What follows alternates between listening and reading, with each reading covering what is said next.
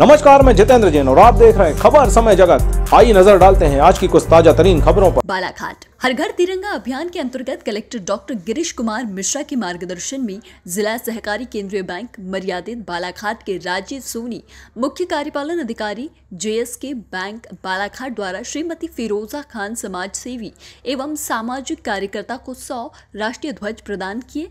इस दौरान श्रीमती खान ने बताया कि उनके द्वारा ज़िले के सुदूर आदिवासी क्षेत्रों में तिरंगे का वितरण किया जाएगा, साथ ही हर घरों में लगवाया भी जाएगा।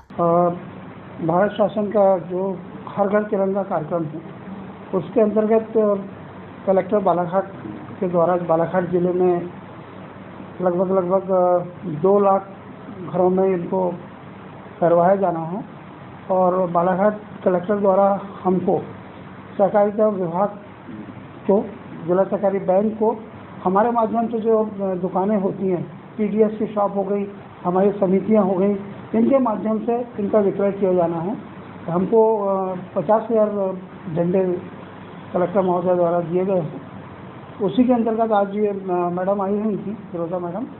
इन्होंने भी हमसे संपर्क किया। इनको भी झंडे हम दे रहे हैं। बताएँगे आज यहाँ से आप झंडे ले जा रहे हैं। क्या आपका मकसद है देखिए ये आज़ादी के अमृत महोत्सव के उपलक्ष्य में हर घर तिरंगा अभियान चलाया जा रहा है। और इस अभियान के अंतर्गत ही मैंने सोचा कि क्यों ना मैं ट्राइबल एरिया, जो आदिवासी अंचल हैं, नक्सल प्रभावित क्षेत्र हैं, जहाँ पे इसकी जागरूकता मैं समझती हूँ बहुत आवश्यक है।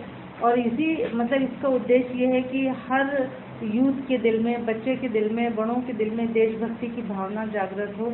और हम बहुत अच्छे से इस राष्ट्र को, हमारी संस्कृति को हम संभाल के रखें। हमारे जो यूथ हैं, इससे एक अच्छा संदेश जाएगा और देशभक्ति की पूरे राष्ट्र में अलग जगह की, ये अपने आप में बहुत ही अनूठा और नायाब प्रोग्राम है। और मैंने इसमें, मैं अपने आप को बहुत गौरवान्वित महसूस करती हूँ कि हर घर तिरंगा अभियान के अंतर्गत मैं हर घर में जितने भी मेरे से कोशिश हो सकेगी, हर घर में एक तिरंगा ज़रूर लगाऊँगी, अपने स्वयं के घर में लगाऊँगी, अपने पड़ोसियों के अपने इसके तहत कौन सा क्षेत्र ऐसा चुना है जो ट्राइबल के लिए मैंने चिकला चिकला जोड़ी जो है जहाँ टंटिया टोला जो स्कूल है मैंने वहाँ पे भी बच्चों के जागरण के लिए एक कार्यक्रम कल रखा है। और शायद मैं वहाँ जाके कल आदिवासी क्षेत्र में अंदर जो इंटीरियर गाँव है वहाँ जाकर सारे ही आदिवासी ग्रामीण अंचल में इस झंडे का वितरण करूँगी।